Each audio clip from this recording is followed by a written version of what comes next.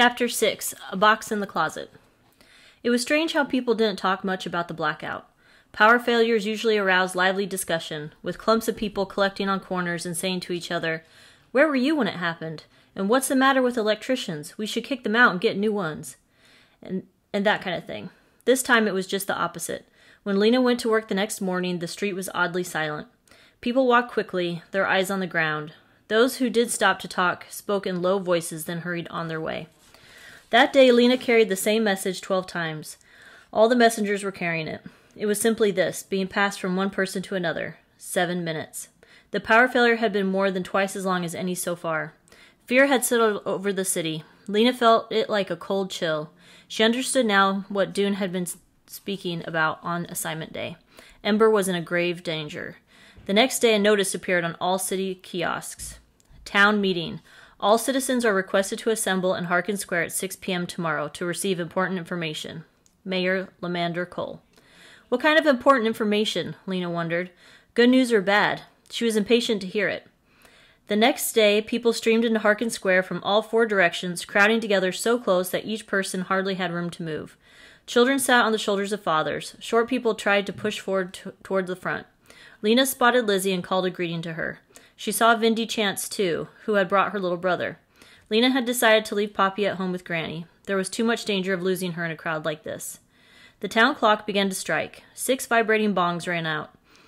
and a murmur of anticipation swept through the crowd. People stood on tiptoe, craning to see. The door of the gathering hall opened, and the mayor came out, flanked by two guards. One of the guards handed the mayor a megaphone, and the mayor began to speak. His voice came through the megaphone both blurry and crackly. People of Ember, he said. He waited. The crowd fell silent, straining to hear. People of Ember, the mayor said again. He looked from side to side. The light glinted off his bald head. Our city has experienced some slight difficulties. Times like this require gresh presh freshall. What did he say? People whispered urgently. What did he say? I couldn't hear him. Slight difficulties, someone said, requires great patience from us all. But I stand here today, the mayor went on, to reassure you. Difficult times will pass. We are making enough rough. What? came the sharp whisper. What did he say? Those near the front passed word back. Making every effort, they said. Every effort. Louder, someone shouted. The mayor's voice blared through the megaphone louder, but even less clear. Worsh Perushins, he said. Pank mushin pank, no urshin pank. We can't hear you, someone else yelled. Lina felt a stirring around her, a muttering. Someone pushed against her back, forcing her forward. He said we mustn't panic, someone said. He said panic is the worst possible thing. No reason to panic, he said. On the steps of the gathering hall, the two guards moved a little closer to the mayor. He raised the megaphone and spoke again. Solutions, he bellowed. Arbingphone. Solutions, the people in front called to the people in back. Solutions are being found, he said. What solutions? called a woman standing near Lina. People elsewhere in the crowd echoed what the woman had said. What solutions? What solutions? Their cry became a chorus, louder and louder. Again, Lina felt the pressure from behind as people moved forward toward the gathering hall.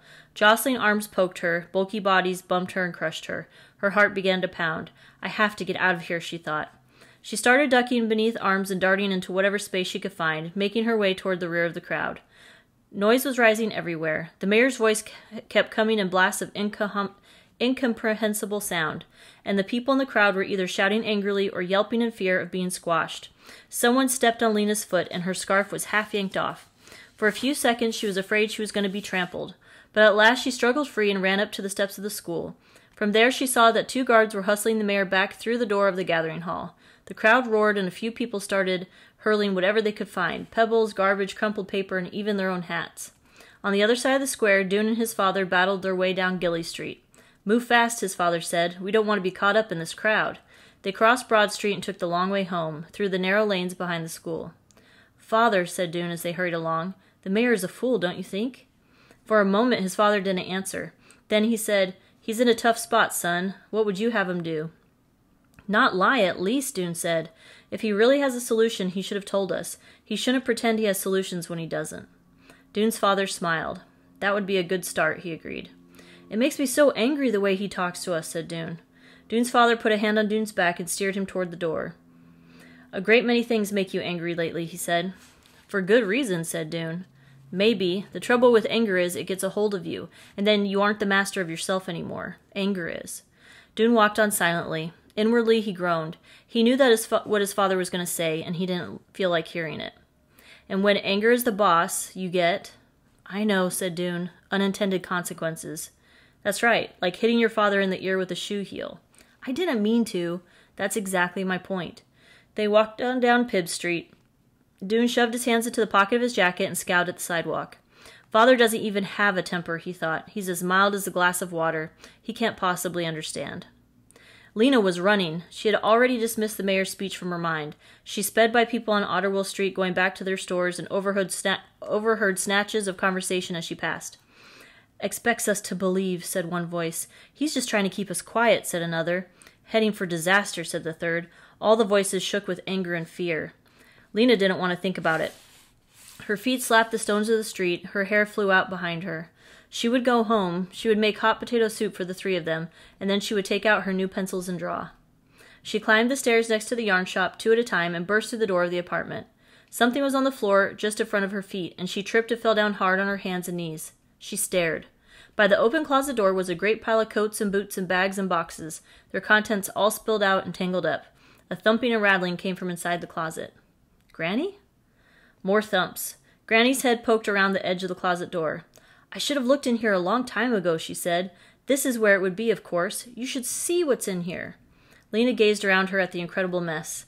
Into this closet had been packed the junk of decades, jammed into cardboard boxes, stuffed into old pillowcases and laundry bags, and heaped up in a pile so dense that you couldn't pull one thing out without pulling all the rest with it.